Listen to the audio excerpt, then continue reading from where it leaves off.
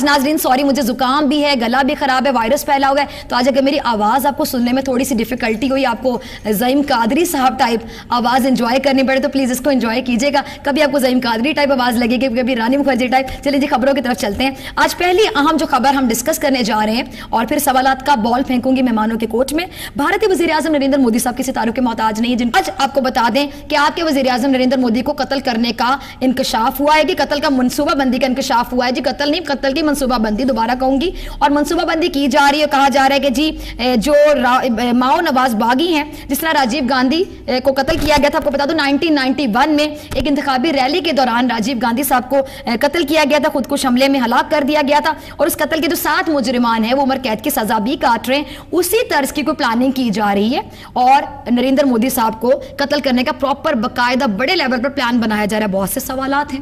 اللہ تعالیٰ حفظ و امان میں رکھے گئے تھے نا، دشمن کی بھی زندگی کے لیے دعا کریں، دشمن کی بھی موت کے لیے دعا نہ کریں۔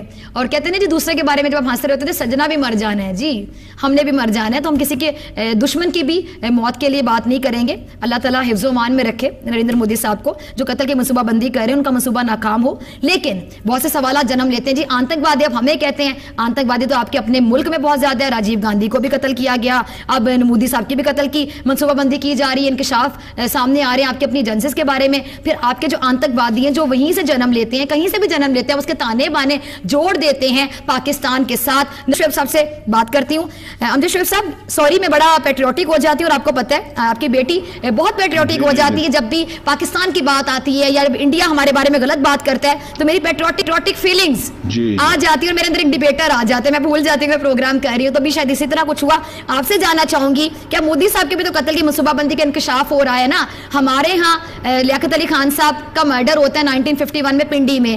دو ہزار سات میں بے بھٹو صاحبہ کا مرڈر ہوتا ہے، جو بھی ہوتا ہے تو انڈین میڈیا بڑا ہائی لائٹ کرتا ہے کہ پاکستان میں جی وزر آزم چینج ہوتے ہیں وزر آزم جو ہے ان کے قتل ہو جاتے ہیں اور جی آئی ٹی بنتی ہے، کوئی پکڑا نہیں جاتے تو آپ مجھے بتائیں کہ وہاں پہ مجھے سب کچھ ہو رہا ہے نا؟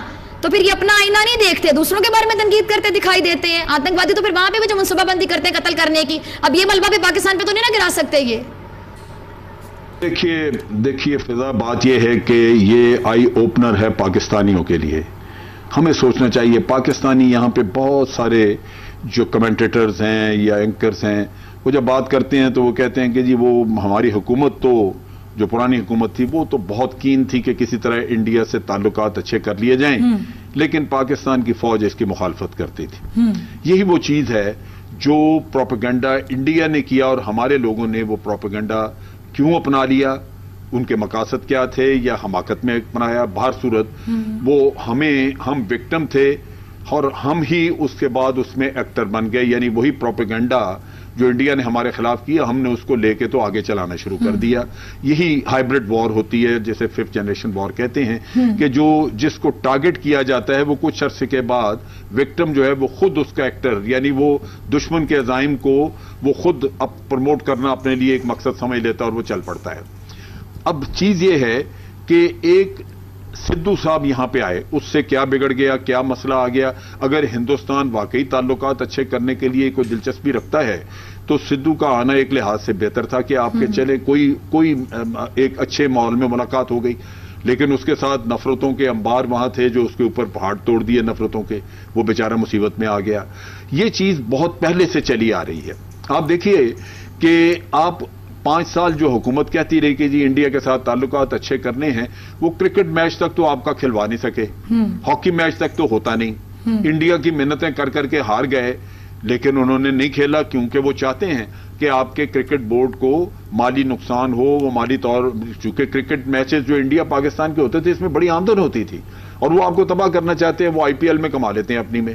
اچھا اسی طرح آپ دیکھیے اور آپ کو یاد ہوگا جنرل صاحب وہ بگ تھری والا ایشو بگ تھری والے ایشو بھی یاد ہوگا آپ نے کرکٹ کا تذکرہ چھیڑا ہے تو۔ میں آتا ہوں اس پہ۔ وہ کرکٹ میں تو بگ تھری کا انہوں نے کر کے تو وہ بھی پاکستان کو چوک کر رہے تھے اس پہ۔ لیکن ایک اور چیز جو میں آپ کو بتانے لگا ہوں پھر ہمارے لوگ بڑا کہتے ہیں کہ جی ٹھیک ہے جھگڑے ہیں کشمیر وغیرہ کا ہوتا رہے۔ ہماری ٹریڈ تو ہونی چاہیے نا بزنس انڈیا کے ساتھ۔